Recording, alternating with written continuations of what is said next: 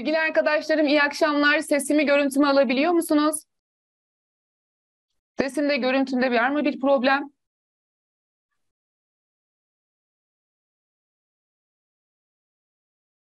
Evet sesimi alabiliyor muyuz?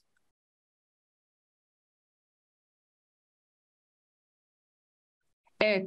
Görüntüde de seste de bir problem yok değil mi? Evet güzel. Hoş geldiniz. Nerelerden geliyoruz acaba? Nelerden katılım sağlıyoruz? Çiğdemciğim hoş geldin. Gülizar hoş geldin. O güzel. Her yerden var herhalde. Ben de hoş bulduk. Benim öğrencilerim de var sanıyorum aranızda.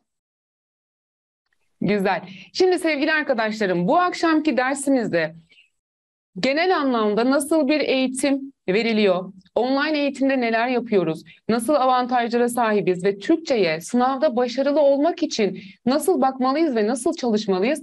Bunlardan bahsedeceğiz ve bunu yaparken de bir konu yani sıfatlar konusuyla başlayacağız ve sıfatlarla ilgili önemli olan noktalara değineceğim ve normalde bu dersler nasıl işleniyorsa onlarla ilgili bir fikir sahibi olmanızı sağlayacağım.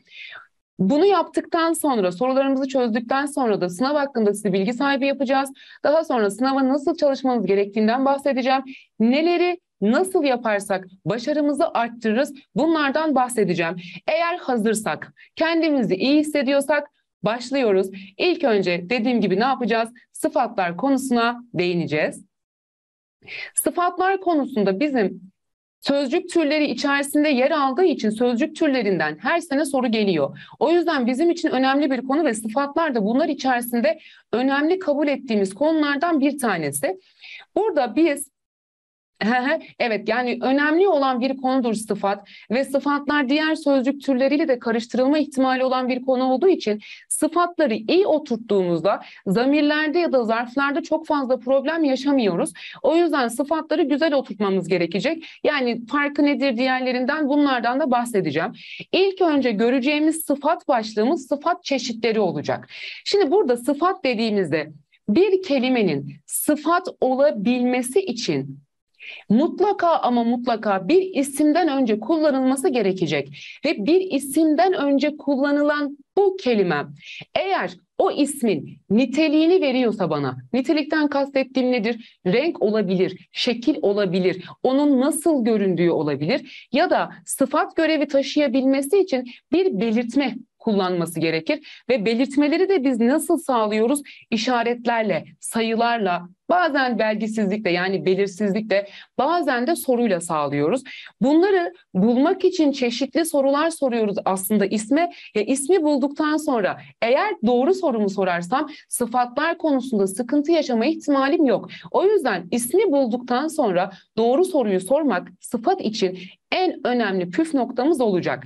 Şimdi ben diyorum ki burada size bir soru sormak istiyorum. Şimdi az önce dedim ki bir kelimenin sıfat olabilmesi için mutlaka bir isimden önce kullanılması gerekir dedim. Peki burada eğer benim iki tane kelimem varsa bunlar bir tamlama oluştururlar mı?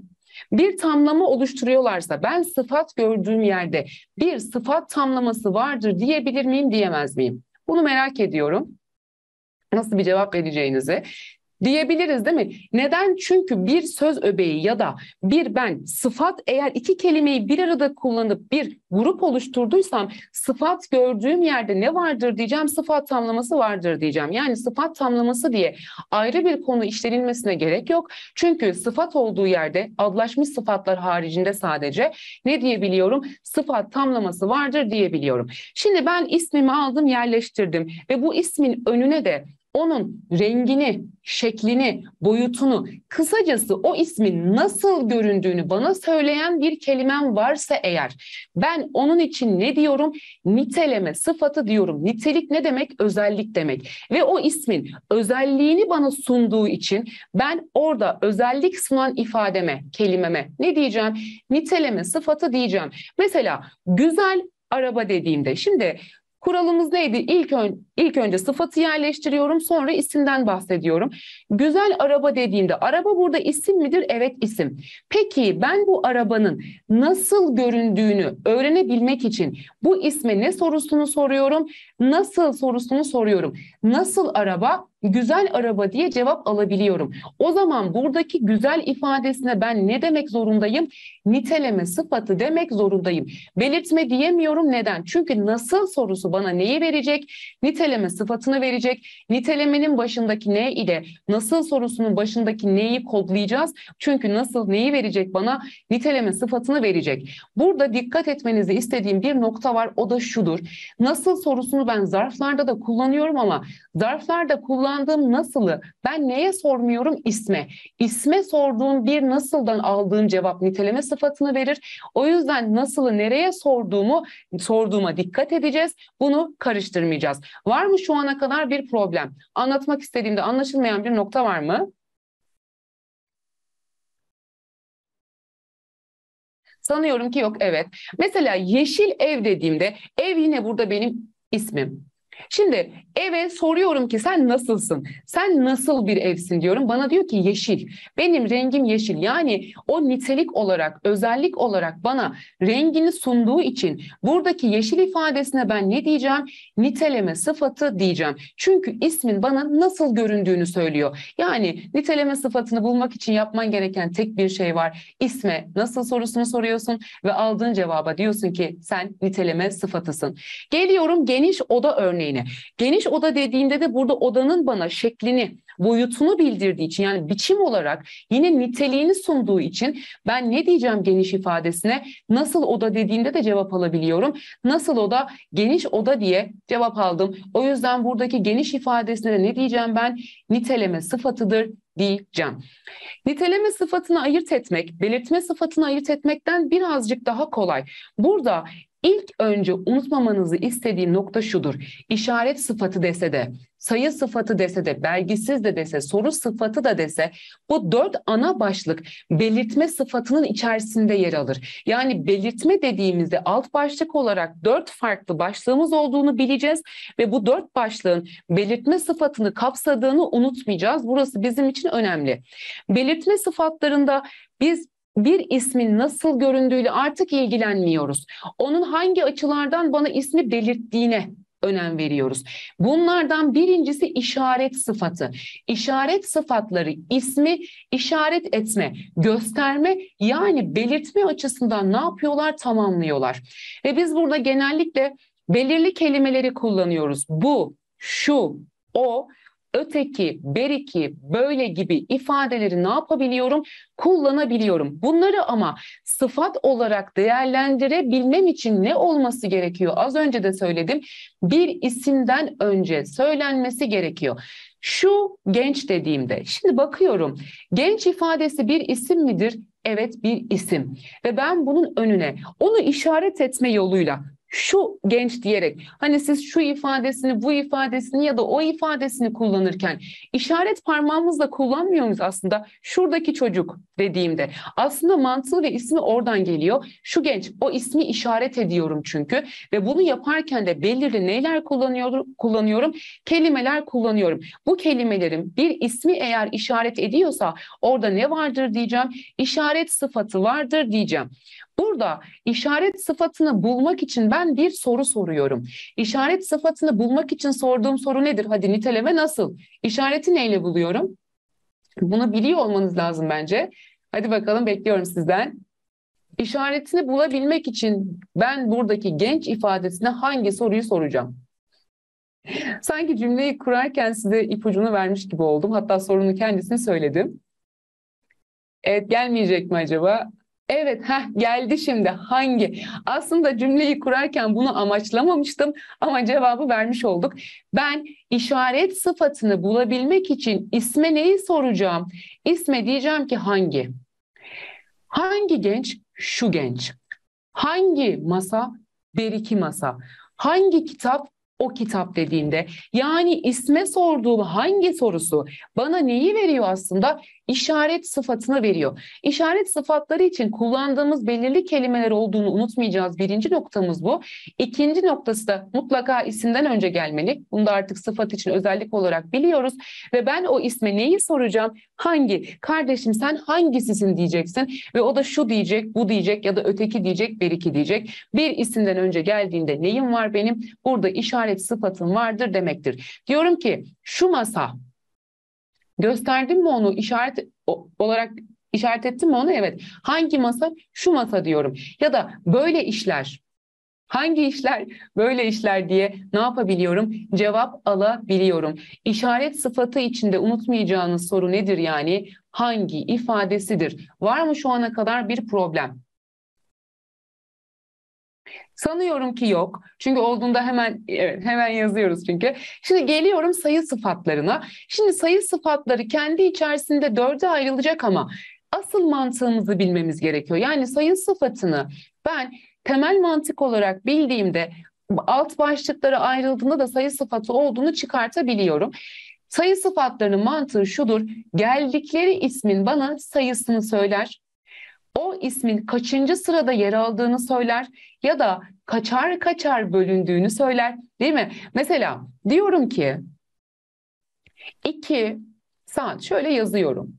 Şimdi burada saat ifadesi isim midir? Evet.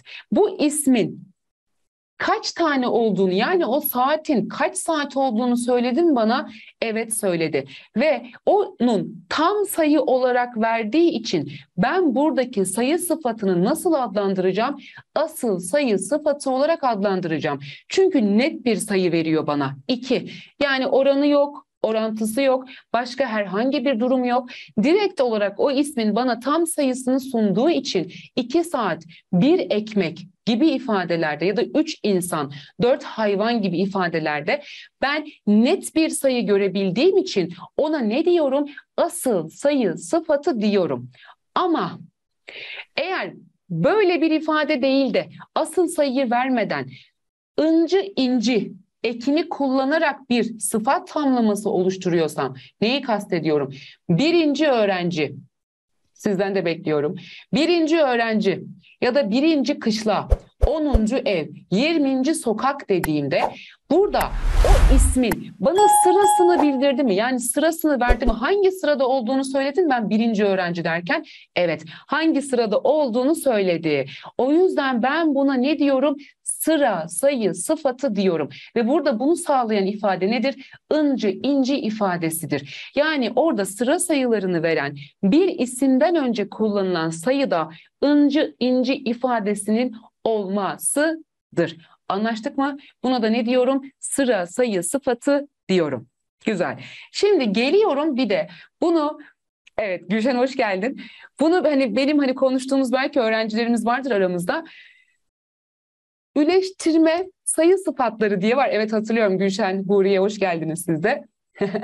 Şimdi burada e, bir de bizim üleştirme sayı sıfatlarımız var. Şimdi üleştirme sayı sıfatları, üleştirme ifadesinin anlamını bilirsek çok kolay çıkartabiliyoruz. Üleştirme bölmek demek, bölüştürmek demek, eşit şekilde bölmek demek. Benim elimde 10 tane elma var. Diyorum ki beşer elma ver dik dedim. Burada ben o elmayı eşit şekilde bölüp dağıttığımı ifade ederken bölüştürüyorum yani üleştiriyorum. O yüzden bu şerli, erli ifadeler gördüğümde bir isimden önce ona ben ne diyeceğim? Sen üleştirme sayı sıfatısın diyeceğim. Diyorum ki Aynen öyle er ar ya da dediğimiz gibi şerşer de olabiliyor bazı durumlarda. Hani burada ikişer elma üçer insan, birer ekmek dediğimde burada herkese aynı sayıda o ismi verdiğimi anlayabiliyor muyum? Evet. Bunu anlayabildiğim için ben buna ne diyeceğim? Üleştirme sayı sıfatıdır diyeceğim. Anlaştık mı ne demek istediğimde? Var mı sıkıntı? Yok diye düşünüyorum. Evet güzel. Geliyorum sayı sıfatlarından bir diğerine. O da kesir sayı sıfatı. Bunda matematikten hani kafanızda saklamanız lazım. Bir isimden önce eğer kesirli ifadelerin varsa mesela yüzde bir ihtimal dedim. Burada kesirden bahsediyor muyuz biz? Evet. O yüzden ben oradaki ihtimalin kesirini gördüğüm için ben buna ne diyeceğim? Sen kesir, sayı sıfatısın diyeceğim. Ama eğer senden sayı sıfatlarının bu alt başlıklarını istemiyorsa ki genelde istemeyecek. Yani hangisinde üleştirme vardır gibi daha çok genel olarak sayı sıfatlarını soracaklar. Eğer orada iki saat gibi asıl sayı veren bir sıfatın varsa sayı sıfatı. Eğer yüzde bir ihtimal gibi kesir veriyorsa Buna da ne diyeceğim? Yine sayı sıfatı diyeceğim. Üleştirme veriyorsa sayı sıfatı diyeceğim. Hayır YKS için benim öğrencilerim yani sizin için şu an. yani bu sayı sıfatların içerisinde yer alan dört başlıktan herhangi biri varsa ben buna ne diyeceğim? Sayı sıfatı diyeceğim. Anlaştık mı? Var mı sıkıntı? Huriyeciğim onu anlatacağım en sonda. Tamam mıdır? Şimdi geliyorum. Şimdi sayı sıfatlarını ayırt etmek kolay. Niteleme sıfatlarını ayırt etmek kolay. Bunların hepsinin kolay olduğunu biliyoruz. Şimdi belgisiz sıfat dediğimizde de şimdi belgisiz sıfatın belgisiz kelimesinin anlamını bilirsek eğer hiçbir problem yaşamayacağız. Belgisiz belirsiz demek. Net olmayan demek. Hani bugün gördüğümüz bulut gibi. Nedir o? Netlik yok. hani orada bir kapalılık var. Belgisiz demek, belirsiz demek. Bunu bilirsek hiçbir problem yaşamayacağız. Eğer bir isimden önce netlik ifade etmeyen, bir belirsizlik ifade eden kelimem varsa eğer, ben ona diyorum ki sen belgisiz sıfatsın. Mesela, şimdi hemen şöyle temizleyeceğim şurayı. Diyorum ki birçok insan. Şimdi insan ifadesi isim ve isimden önce gelen benim bir sıfatım var. Birçok insan. Burada birçok dediğimde bana göre birçok ifadesi 5 insan olabilir. Sana göre birçok ifadesi 20 insan olabilir. Bu birçok ifadesinde bir netlik var mı? Bana bir netlik sunuyor mu? Hayır sunmuyor. Bir netlik sunmadığı için ben burada birçok insan dediğimde netlik yok bir belirsizlik var. Ben birkaçtan kaç kişiyi kastettiğini anlayamıyorum. O yüzden birçok ifadesine ya da birkaç ifadesine ne diyeceğim? Belgisiz diyeceğim. Şimdi burada karıştırmamanız gereken bir ifade var. Ona da değineceğim zamirlerle ilgili. Ama ilk önce bunu bitireceğim sonra zamirlerle nasıl ayırt edebileceğinizden bahsedeceğim. Yani bir isimden önce eğer geliyorsa bu belirsizlik veren kelimem. Burası çok önemli. İsimden önce gelmeden sıfat diyemiyorum çünkü ben ona. Eğer bir isimden önce geliyorsa ne diyeceğim? Sen sıfatsın, e, anlam olarak da belirsizsin. O zaman ben sana ne diyorum? Belgisiz sıfatsın diyorum. Dedim ki tüm insanlar genellikle karıştırdığımız ifade tüm ya da bütün ifadeleri oluyor. Hani belgisiz olarak kabul etmiyoruz biz bunu. Şimdi tüm insanlar ya da bütün insanlar dediğimizde yine ben bu tüm insanlardan kastettiğim 7 milyar insanı mı kastediyorum yoksa tanıdığım 500 tane insandan mı bahsediyorum? Net olarak oradaki insandan ben kaç kişi olduğunu çıkartabiliyor muyum tüm insanlar derken? Hayır çıkartamıyorum. O yüzden tüm insanlar ya da bütün insanlar ifadesini kullandığımda tüm ve bütün ifadeleri de bana neyi sağlar? Bir belirsizlik sağlar. Belirsizlik sağladıkları için ben buna ne diyeceğim? Belgisiz sıfattır diyeceğim. Kimi varlıklar dedim. Yine kimi varlık derken neyi kastettiğimi ben net olarak anlayabiliyor muyum? Hayır. Ya da şimdi bak yine çok güzel bir nokta. Buraya da çok ama çok dikkat edeceğiz. Yine tüm ve bütünde olduğu gibi. Şimdi tüm ve bütünü ben direkt olarak belgisiz olarak kullanıyorum. Ama bir tane kelimem var. Bir. Eğer bir kelimesi bir şeyin sayısını net olarak veriyorsa, net olarak veriyorsa o sayı sıfatı. Ama belirsizlik veriyorsa belgesiz sıfat olacak. O yüzden bizim bir ifadesine dikkat etmemiz lazım. Eğer belirsizlik veriyorsa şu örnekte olduğu gibi bir yaz günü 90 tane yaz günü var. Hangisinden bahsediyorsun? Kurban olurum neyi söylüyorsun sen? Emin olabiliyor muyuz biz burada bir yaz günü ifadesinden hangi günü kastettiğini? Hayır, kast anlayamıyorum. O yüzden buradaki bir yaz günü ifadesindeki bire ben belgisiz diyorum. Ama şöyle demiş olsaydım Sude. Bir tane ekmek al ve gel deseydim. Buradaki ifadeye ben belgesiz mi diyecektim yoksa sayı sıfatı mı diyecektim? Sayı sıfatı diyecektim. Neden? Çünkü sayısının ben bir tane olduğunu bu cümleden anlayabiliyorum. O yüzden bizim her zaman söylediğimiz bir şey vardır Türkçe için. Yani özellikle ben bunu çok söylüyorum. Bağlamın tamamını, cümlenin tamamını okuyacağız. Çünkü bazen bir ifadesini görüp hemen şak diye sayı sıfatını yapıştırıyoruz. Hayır. Anlam olarak baktığımızda belirsizlik veriyorsa eğer Belirsizlik verdiği noktada ben ona ne diyeceğim? Belgesiz sıfat diyeceğim. Evet Gülşen sırf senin için söyledim bu örneği. Tamam mı? Tamamını okuyacağız. Bu bizim sloganımız. Unutmuyoruz bunu. Tamamını okuyacağız. Tamam mı? Şimdi geliyorum soru sıfatlarına. Şimdi şöyle dediğinizi duyuyor gibiyim. Hocam Allah yani bu gerçekten sıkıntı eyvah falan diye. Çünkü genellikle biz soru sıfatlarında bir miktar daha problem yaşıyoruz. Çünkü soru zamirleriyle ya da soru zarflarıyla karıştırabildiğimiz noktalar oluyor. Şimdi bunun kolay ayırt etmenin iki noktası var. Yani iki şekilde o soru ifadelerinin sıfat mı olduğunu yoksa başka bir şey mi olduğunu anlayabileceğimiz noktalar var. Mesela e, nasıl ifadesi, kaçar ifadesi ya da kaç ifadesi bize ya da hangi ifadesi hani biz bunları sıfatları bulabilmek için de isimlere sorduğumuz sorular ve ben bunları cümle içerisinde direkt soruları kullanıyorsam o soru kelimesinin neye soru sorduğuna dikkat etmemiz lazım. Mesela nasıl kitaplardan hoşlanırsınız dedim. Buradaki nasıl benim soru kelimem. Ve kitapta isim. Buradaki nasıl sorusunu isme sormuyor mu direkt olarak? Evet. Şimdi eğer isme soruyorsa nasıl sorusunu ne olmak zorunda? Soru sıfatı olmak zorunda. Çünkü ben bir isimden önce yani o soruyu ben isme soruyorsam o zaman ne diyebilir ne diyebilirim? Ona soru sıfatıdır diyebilirim. Bir de bunun yanında ayırt edebileceğim bir diğer nokta da sen hadi çıkartamadın Burada sorulan soruya cevap ver. Mesela de ki alttaki örnekten devam edeceğim. Sen de ki kaçar kişilik gruplar var dedin. Cevap veriyorum üçer kişilik dedim. Üçer kişilik, şimdi devamını yazmayacağım. Üçer kişilik gruplar var dedim. Şimdi burada kişilik ifadesi isim ve üçer ifadesi bana sıfatı veriyor muydu? Hangi sıfatı veriyordu? Eşit şekilde bölüyordum. Neyi veriyordu? Üleştirme sayı sıfatını veriyordu. Şimdi benim buradaki kaçar kişilik sorusuna verdiğim cevap bir sıfat olduğuna göre buradaki kaçar sorusu da benim için ne olacak?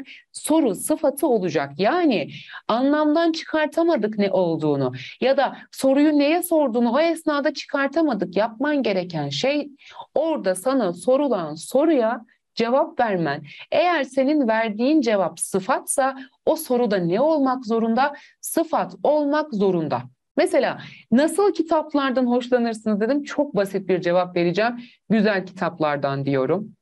Güzel kitap dedim. Şimdi burada nokta devam ettirmiyorum cümleyi. Kitap ifadesi isim, Nasıl kitap dedim, güzel diye cevap aldım. Yani benim burada nasıl diye sorduğum soruya verdiğim cevap sıfat olduğu için ben buna da ne diyeceğim? Sen soru sıfatısın kardeşim diyeceğim. Var mı sıkıntı? Var mı sıkıntı, var mı problem?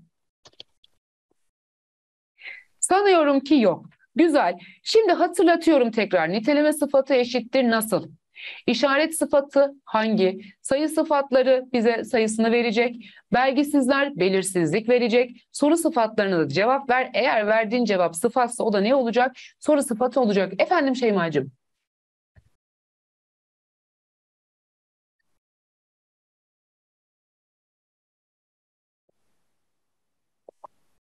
Evet. Şimdi Şeyma'cığım sen sorunu yaz. Sormak istediğin şeyi söyle. Ben o esnada neye dikkat etmeniz gerektiğini söyleyeceğim.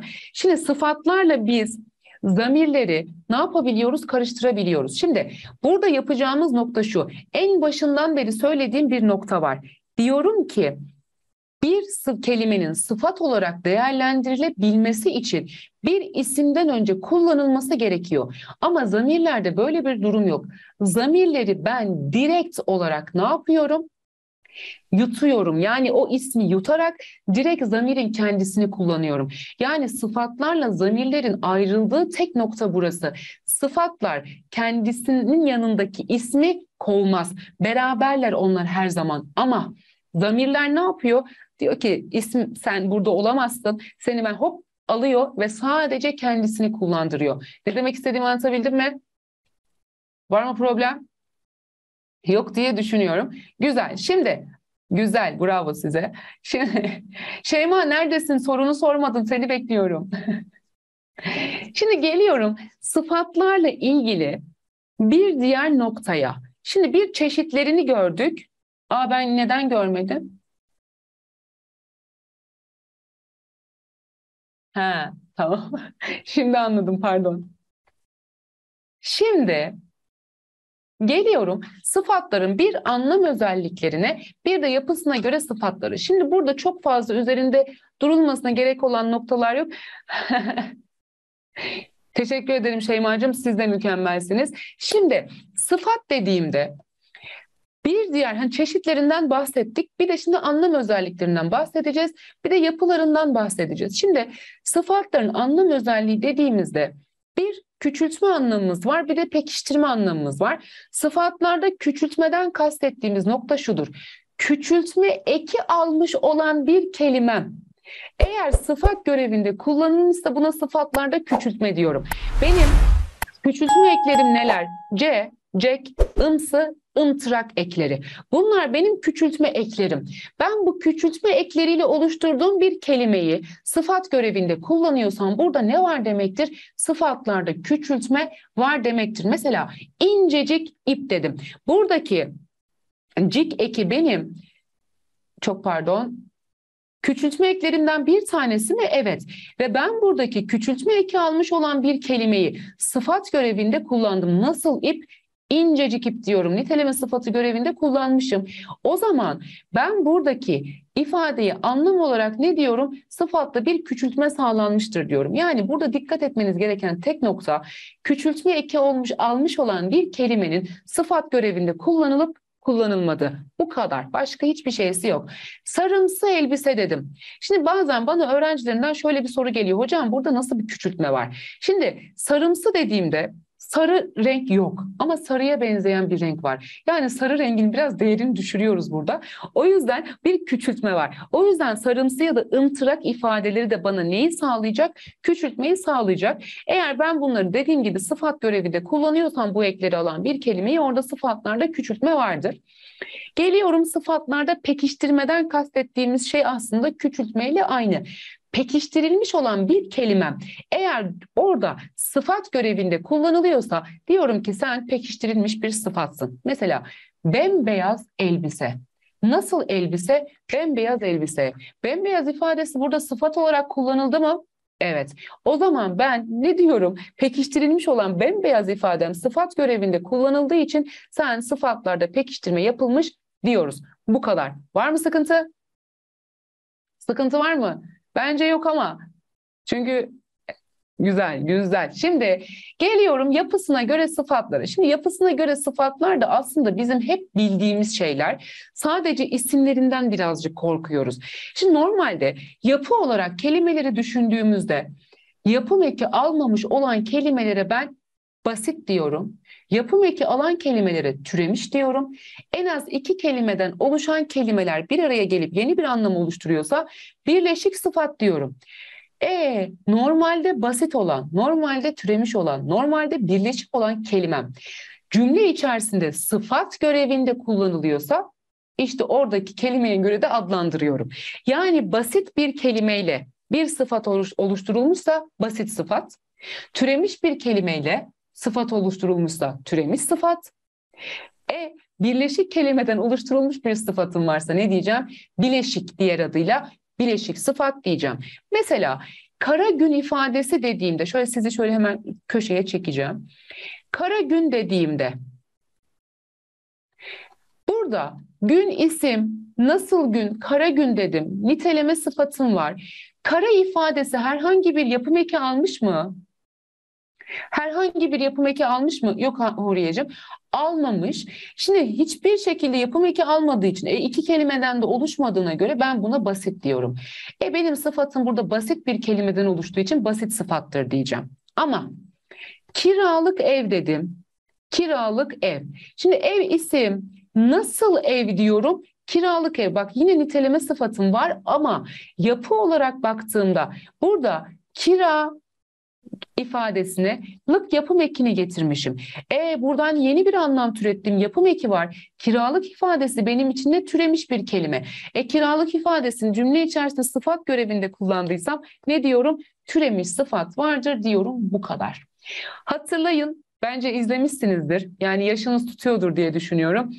Kül yutmaz Nerede vardı bizim bir çok meşhur bir filmimizde var. Hababam sınıfında kül yutmaz hocamız var. Şimdi burada da o, o örneği o yüzden verdim. Ben de kül yutmaz bir hocayım çünkü falan. Şimdi kül yutmaz öğretmen dediğimde nasıl öğretmen diyorum? Kül yutmaz diye cevap alıyorum. Şimdi kül yutmaz ifadesinde kül bir kelime, yutmaz bir kelime bunlar birleşti yeni bir anlam kazandı. E, birleşik bir kelimeyi ben sıfat olarak kullandım. E, yapı olarak ne diyeceğim buna? Bileşik sıfattır diyeceğim. Anlaştık mı? Var mı sıkıntı? Yok değil mi? Huriye anlaştık mı artı yoksa bir sıkıntı var mı artı? Hangisi artı? Ha, yok tamam şimdi geldi güzel. Şimdi geliyorum. Heh. Şimdi kurallı bileşik sıfatlarda bizim çeşitli kurallarımız var. Yani onun mantığı şuradan geliyor. Normalde yine bir sıfat yani normalde hani o eki almasa bile sıfat olarak kullandığım bir ifade var. Ama ben lı ya da lık ifadesini getirerek kurallı birleşik sıfat yapıyorum. Genel şöyle mesela diyorum ki beş kuruşluk insan dedim. Şimdi baktığımızda burada beş kuruş ifadesi bir sıfat. Ben bu sıfatla yetinmedim. Oraya lık ekini getirdim. İnsanla da bunu ne yapmış oldum? Beş kuruşluk insan diyerek de öndeki sıfatla tekrar bir sıfat kurdum. Yani Kur'anlı birleşik sıfattan kastettiğimiz bu. Hani lık ya da lu eki geliyor. Lı, li, lu, lu olarak değişebilir tabii. O ek gelerek zaten normalde de sıfat olan bir ifade tekrar sıfat oluyorsa buna ben ne diyorum? Kurallı birleşik sıfat diyorum. Tamam mıdır Elif'ciğim? Hangisi için kuzum? Türemi, Ha şimdi bunlar yapı olarak aslında bir, bir yapı olarak farklı değil Elifçim bunlar. Yani onlar sadece kurallı birleşik sıfattan kastettiği şey ha ikisi evet ikisi de aynı sadece bunun içerisinde yer alıyor. O kadar. Onu kastettim yani. Anlatabildim ne demek istediğimi? Ha. Ha kurallı birleşik için. Bence verebilirsiniz. Çok kolay bir şey bu. Siz de bir düşünün bakalım.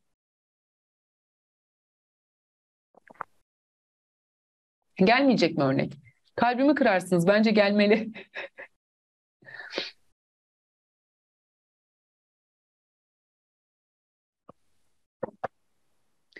Oraya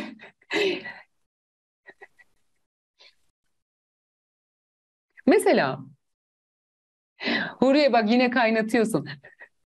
Şimdi normalde grupta olsak sana ne yapacağım? Sana ne yapacaktım? Ödev verecektim ama. Heh, bak mesela güzel örnekler geliyor. Bir dört dörtlük adam geldi. Doğru bir örnek. Güzel gözlü kız geldi. Doğru bir örnek. Evet. Güzel bahçeli ev dendi. Doğru bir örnek. Helal olsun. Tebrik ediyorum. Ha beş parasız insanda Huriyeciğim onu kabul edemiyorum çünkü lı lık lık eklerinde hani daha çok onları kullanacağız. Onlar daha çok çıkacak karşınızdan. İyi kalpli adam evet. Şimdi geçiyorum artık sorularıma. Yani burada nasıl sorular gelebilir ve sorulara nasıl bakacağız bunları göreceğim. Sonra sınavla ilgili konuşacağız ki çok önemli. O kısmı hiç kaçırmanızı istemiyorum. Şimdi her zaman ne yapıyoruz? Soru kökü. Elif bu ne hız? Aşağıdaki cümlelerin hangisinde bir isim hem belirtme hem de niteleme sıfatı almıştır diyor. Bakalım bilmiyorum. Bana böyle güzel bir ev aldığın için sana teşekkür ederim. Bravo. Ne yapıyorum? Şimdi burada hem belirtme, yine geçtim. Teknolojiyle aram hiç iyi değil. Şimdi burada güzel bir ev ifadesi var. Şimdi ev benim buradaki ismim. Şimdi ev isim. Nasıl ev diyorum? Güzel ev. Niteleme sıfatı mıdır? Evet, niteleme sıfatı. Peki buradaki bir ifadesi az önce dikkat edin dediğim nokta sayı sıfatı mıdır yoksa belirsizlik midir? Yani belgisiz midir?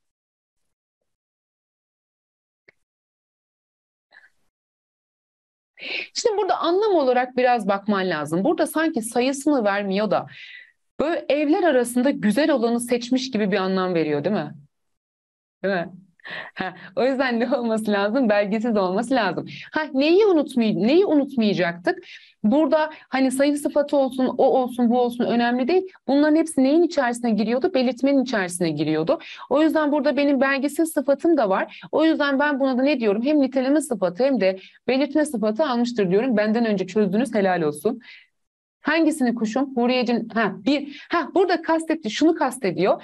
Anlam olarak baktığımızda burada hani sayı olarak vermekten ziyade düşün bir sürü ev var. Onun içerisinden güzel olandan bir tanesini almış. Yani şey olarak hangi evi aldığını net bir şekilde bilemiyorum ya. O yüzden kastediyor. Tamam mı? Aynen. Tamam mı canım? Ha, ne diyorum ben en başta? Tamamını oku. Bu bizim için hep ne olacak? Püf noktamız olacak. Şimdi geliyorum diğerine. Sıfat yoktur diyor. Aşırı kolay. Hemen bunu da çözün bakalım. Bekliyorum. 30 saniyeniz var. 30 saniye uzun oldu bu arada. Heh. Evet, evet başka? Yok mu arttıran? Evet, şimdi şimdi bakıyorum hemen. İlk, sor, ilk soruda değil mi Yasemin? Şunu çözeyim ona döneyim olur mu? Şimdi diyorum ki bu okun dedim. Burada ne var? İşaret sıfatı var. Bu ok derken. Kimsesiz bir sokak, sokaktayım, kimsesiz bir sokak ortasında. Necip Fazıl'a selam olsun. Şimdi burada sokak ifadesi nasıl sokak, kimsesiz sokak. Niteleme sıfatı aynı zamanda da belirtme sıfatı var. Gitti bu da. Bugün e, bugün doluyum, başka işlerle uğraşamam, başka işler ifadesi benim sıfatım. Kapının önünde üç kişi bekliyor dedim. Yine sıfatım var. Gitti. A şıkkında sıfatım yok. Bir saniye geliyorum hemen. Heh, bunlar çok karmaşık sorular dediğimde buradaki hani az önce arkadaşınız bakın dediği için bakıyorum. Şimdi nasıl sorular karmaşık sorular dedim. Şimdi burada karmaşık sorular ifadesi benim için niteleme sıfatı. Ama bunlar ifadesi burada nedir? İşaret sıfatı değil. Aman dikkat edeceğiz. Bunlar derken bunlar sorular diye bir ifadem yok. Burada ne yapmış? Bunlar ismi yutmuş. İsmi yuttuğu için ben buna zamir diyorum ve onu alamıyorum. Sanırım takıldığım nokta burası dedi Yasemin'ciğim. Şu an anlatabildik mi? Var mı problem? Yok diye düşünüyorum. Değil mi? Güzel. Şimdi geliyorum bir diğerine. Ya da gelemiyorum. Ha. Şimdi bu parçada aşağıdakilerden hangisi yoktur diyor. Bakalım. Tiyatronun uyarıcı gücünün böyle geniş çapta bir devinimi gerçekleştirmesi ancak o toplumun içindeki birikim ile olmuştur dedi. Şimdi ilk cümleyi bitirdim. Böyle geniş çapta bir devinim. İşte burada bir sıfat tamlamam var benim ve çok fazla kelimeden oluşuyor. Şimdi Evet cevaplar da geliyor sizden. Şimdi baktığımızda böyle geniş çapta bir devinim dediğimde hem bunlara tek tek de bakabilirsiniz. Mesela sayı sıfatının hiç olmadığını direkt olarak gördüğünüzde işaretleyebilirsiniz zaman kazanmaktan. Ama yine de mutlaka ne yapmalıyız? Tamamına yine bakmamız lazım. O yüzden dikkat edeceğiz. Şimdi geniş çapta bir devinim dediğimde Nasıl devinim? Geniş çapta devinim dedin. Benim burada niteleme sıfatım var ama şıklarda yok. Bir devinim dediğimde burada ne veriyor? Bana belgisizlik veriyor. Türemiş sıfat ifadesi var mı? Türemiş sıfat nerede var? Nerede buldunuz? Yani siz sayı sıfatı olmadığını söylediniz ama diğerleri nerede? Onları da bulun bakalım.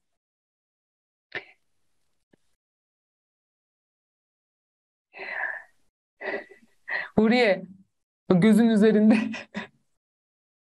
Şimdi burada mesela böyle geniş ifadesini dediğimde böyle burada sizce hangi sıfatı veriyor bana? Çünkü böyle de bir sıfatı sağlıyor burada. Evet geldi güzel.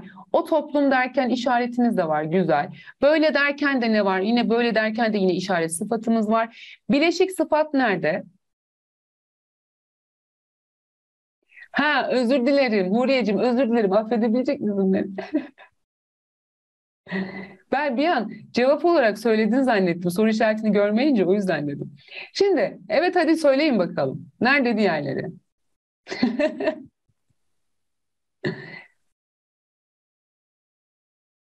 Evet çok güzel.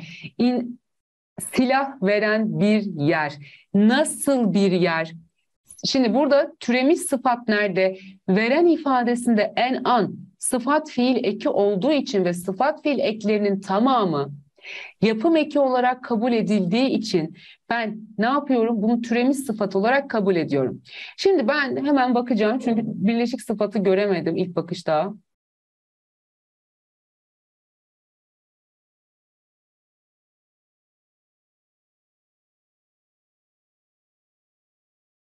İşaret, bileşik sıfatı hala göremiyorum.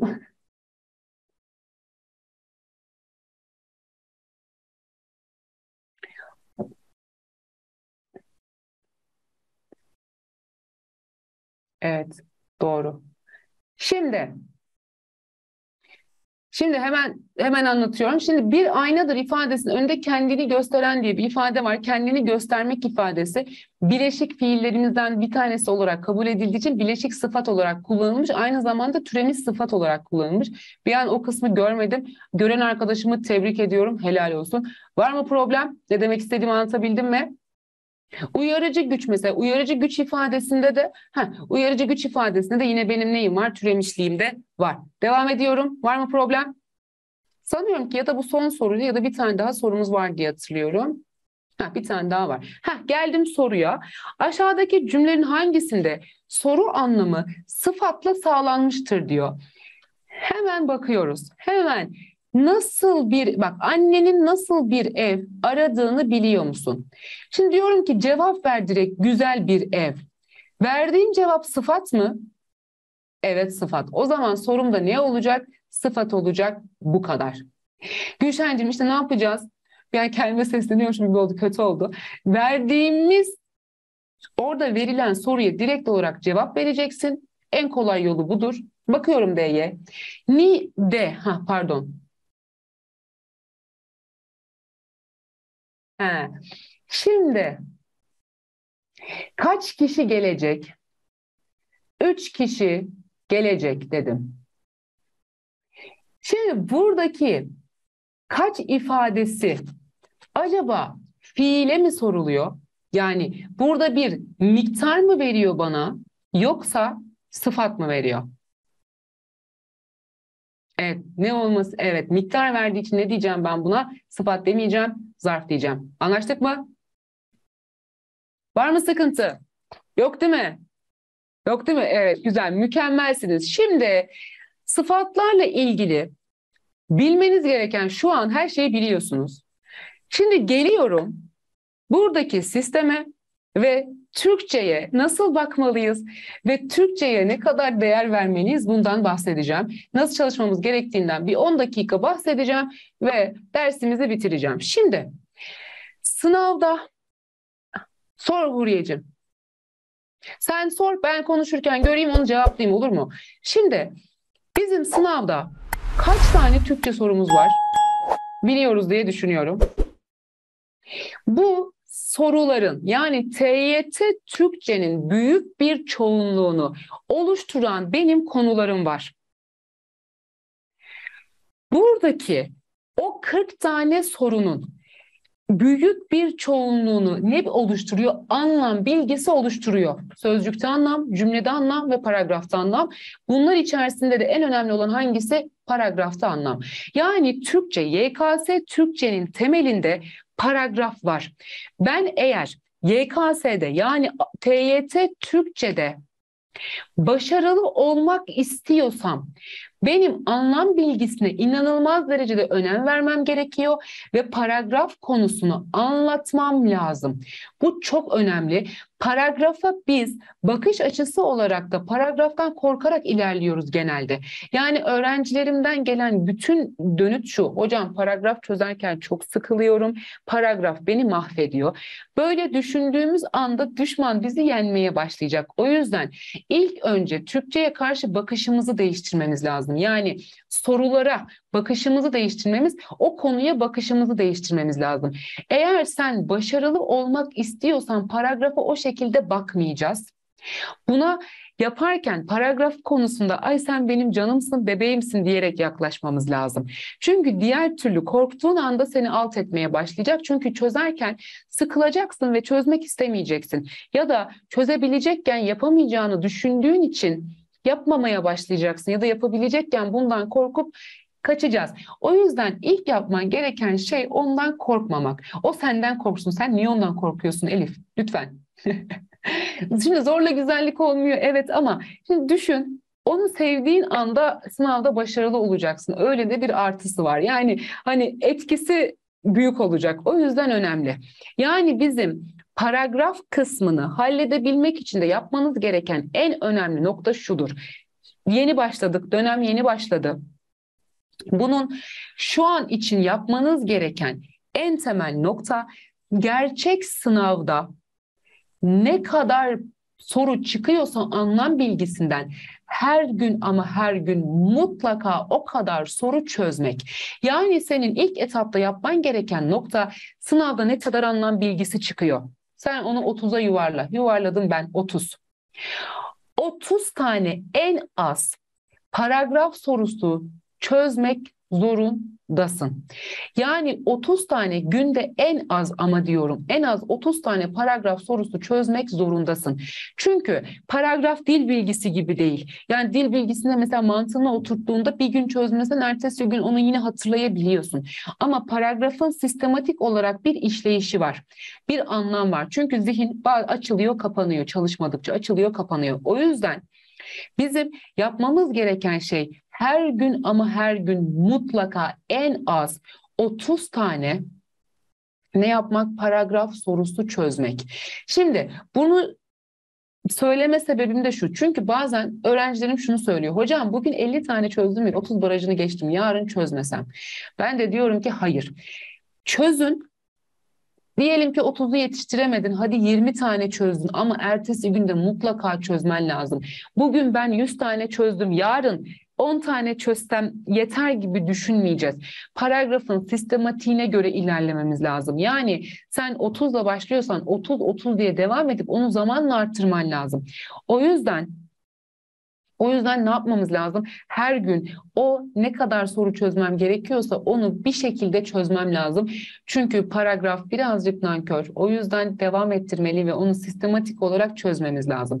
O yüzden ilk etapta yapmanız gereken şey ne? Günde 30 tane paragraf çözmek. Şimdi dil bilgisi konuları evet az olarak geliyor. Yani az soru geliyor dil bilgisinden ama dil bilgisindeki ifadeleri bildiğimizde Dil bilgisi ifadelerini bildiğimizde bu sefer paragraf çözerken de aslında rahatlıyoruz.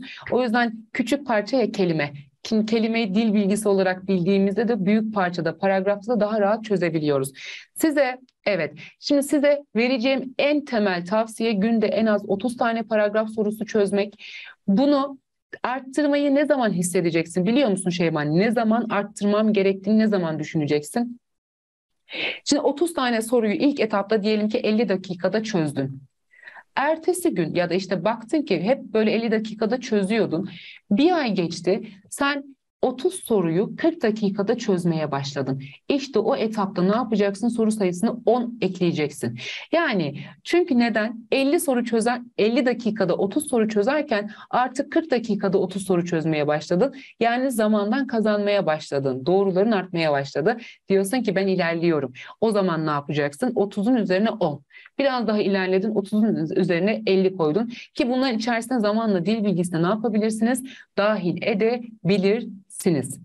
Evet, işte hızımızı arttırmak ve diğer derslere zaman kalmasını sağlayabilmek için her gün paragraf çözeceğiz ve hızımızı ve doğru yapma oranımızı ve soruları algılama kapasitemizi arttıracağız. Yani aynı zamanda anlam gücünüzü de arttıracak paragraf çözmek. Hem hız hem anlam hem de Türkçe'de net. O yüzden mükemmel. Ne yapıyoruz? Heh, işte bu hataya düşmemek için her gün söylediğim bu 30 paragrafı çözmek zorundayız. Paragrafla ilgili söyleyeceklerim sadece bunlar. Var mı sıkıntı? Var mı problem? Yok. Şimdi geliyorum dil bilgisi yapamıyorum diyen arkadaşlar için. Dil bilgisi biraz matematikseldir. Yani belirli kuralları var, belirli durumları var ve biz o noktalarda ne yapabiliyoruz? Hani belirli noktalarda o mantığını oturttuğumuzda hani çok fazla soru çözmeden de tabii ki çok fazla soru türü görmeliyiz ama hani paragraf kadar günde 50 tane dil bilgisi çözün demiyorum.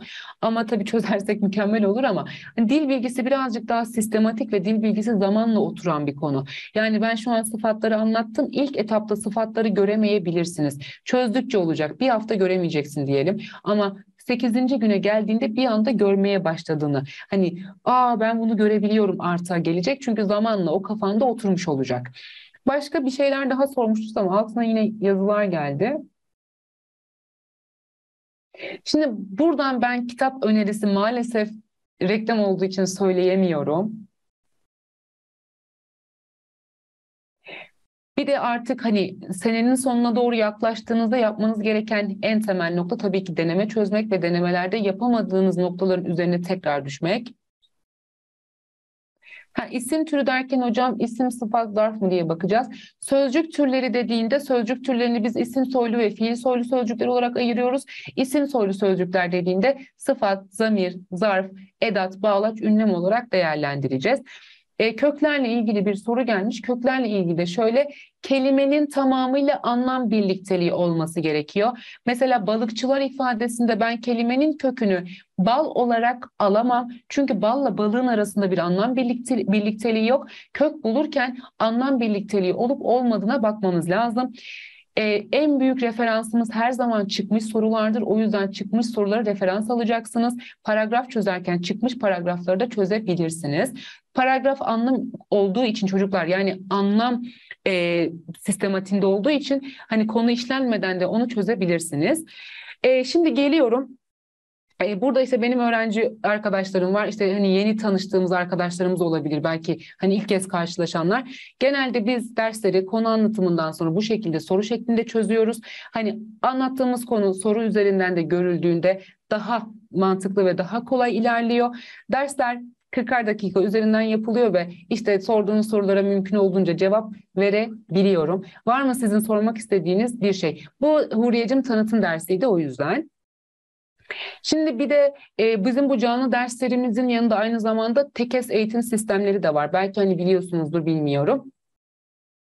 E, tekes eğitim sistemleri var. Tekes eğitim sisteminde de yapay zeka kullanılarak sizin işte öğrenme kapasiteniz, nasıl öğrendiğiniz ve ne kadar çalışmanız gerektiği, hangi konuyu çalışmanız gerektiği söyleniyor. O yüzden buradaki anlattığımız Reyhancığım sen YKS öğrencisin değil mi?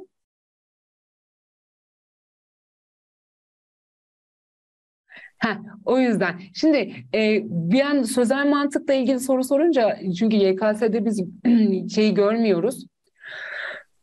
sözel mantığı görmüyoruz. O yüzden şaşırdım. Onu da cevaplayacağım tamam mı?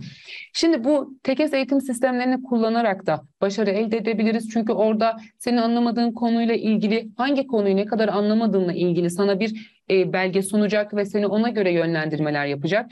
O yüzden canlı derslerin yanında tekes eğitim sistemleri de var. Bunu da değerlendirebilirsiniz. E, sözel mantıkla ilgili sözel mantık tam olarak mantık olduğu için ve anlama kapasitenizi zorlayacak sorular oldukları için onlar da sürekli çözülmesi gereken yani matematik gibi düşüneceksiniz. Sürekli çözersek eğer sürekli çözdükçe oturacak bir nokta. E, KPSS'de bu sene işte çeşitli iki farklı sınav yapıldığı için farklı farklı e, sözel mantık soruları geldi. Ama sözel mantık sorusu pratik işi zaman kaybettiren bir ifade. O yüzden orada bol bol soru çözmemiz gerekecek. Var mı bana sormak istediğiniz bir şey?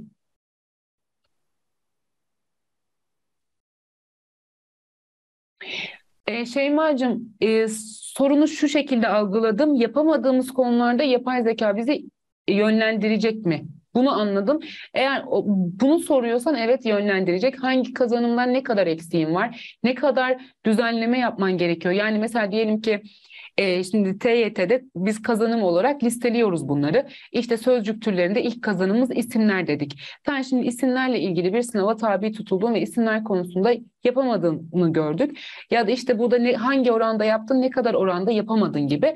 Burada senin sistem ona göre izlemen gereken videoyu yönlendiriyor. Yani farklı farklı videolar var. Diyelim ki konuyu hiç bilmiyorsan seni burada ne yapıyor? O hiç bilmeyen bir öğrenciyi yönlendirmesi gereken videoya yönlendiriyor. Ya da biliyorsun sadece birkaç noktayı hatırlamıyorsun. Yani tekrara ihtiyacın varsa seni tekrar kısmına yönlendiriyor. bunu bu tarz şekilde yani senin orada verdiğin dönüte göre seni yönlendirmesi var. Etüt tarzında bireysel dersler olmuyor diye biliyorum. Olmadığını biliyorum. Var mı başka sormak istediğiniz bir şey?